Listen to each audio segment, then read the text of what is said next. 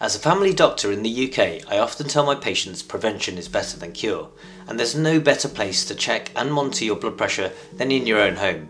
It may even reduce the need for you to go onto higher doses or additional blood pressure medication in the first place. If you have high blood pressure, know of a family member who does, or you're just taking the initiative with your health, then I think you'll find the whole video useful, but if you're after a specific section, feel free to use the timestamps in the video description box below.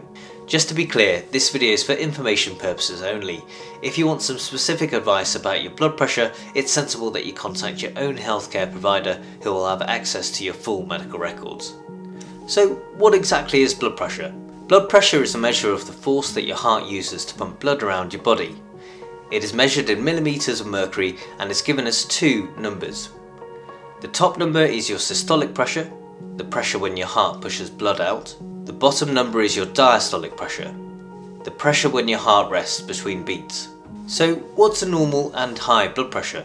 As a general guide, normal systolic blood pressure is usually considered to be between 90 and 120 millimeters of mercury. Normal diastolic blood pressure is usually considered to be between 60 and 80 millimeters of mercury.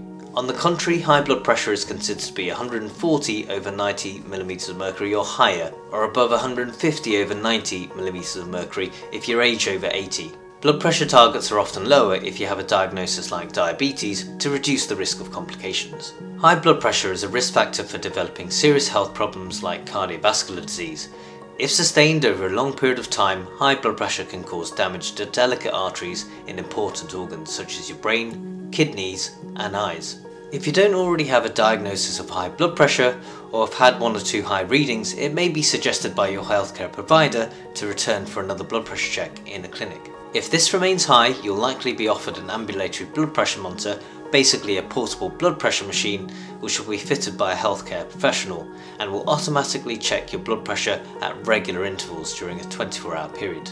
Some people don't want or can't tolerate an ambulatory blood pressure monitor and this is when recording your blood pressure at home may be recommended.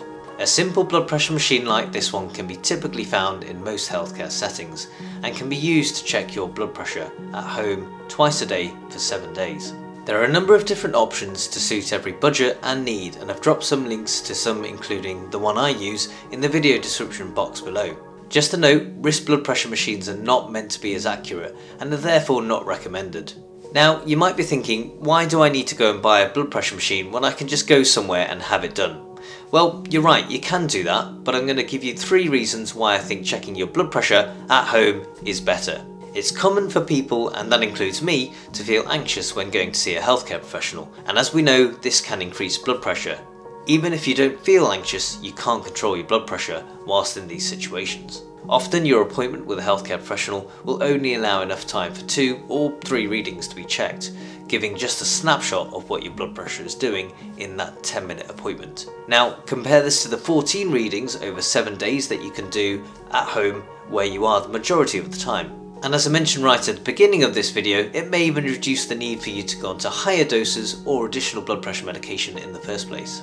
Because you can't generally see signs of blood pressure and it very rarely produces any symptoms, hence known as the silent killer, having some awareness of what blood pressure is and what number constitutes a high reading can really help you understand why doctors are eager to get it under control. And by searching for and watching videos just like this, you're already ahead of the curve, so well done. So, now that we know some of the reasons why checking your blood pressure at home is better for monitoring blood pressure, it's important that we check it properly in the first place by following these simple steps.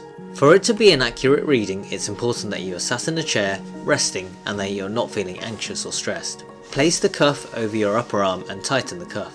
If possible, rest your arm on a table, ideally at the level of your heart. The tubing should lead down the centre or slightly to the right of your arm. If your upper arm is particularly larger or smaller than average, you may need to buy a different cuff size, and I've linked these Omron compatible cuffs in the video description box below. Depending on your blood pressure machine, you may need to press the on button or the start button, or both. You'll hear and feel the cuff inflate. It may be tight or uncomfortable, but this will only be for a short period of time. When finished, your blood pressure will be displayed. A pulse rate may also be shown. Write your blood pressure down, wait one minute and check it again. Record the lower of the two readings. Continue to check your blood pressure twice daily, ideally in the morning and evening for at least 7 days. To make recording your 7 day blood pressure easier, you can download our 7 day home blood pressure Excel spreadsheet using the link in the video description box below. Figures can be entered easily with colour codes for normal, slightly raised and high blood pressure. It is recommended that the first day's blood pressure readings are discarded. The spreadsheet will automatically do this for you and calculate your average blood pressure which can then be passed on to your healthcare provider. If you found this video useful or learned something new, please do like it and subscribe to our channel to keep up with new content we'll be uploading and feel free to check out some of our other videos which are appearing on your screen right now. Thanks for watching, see you next time.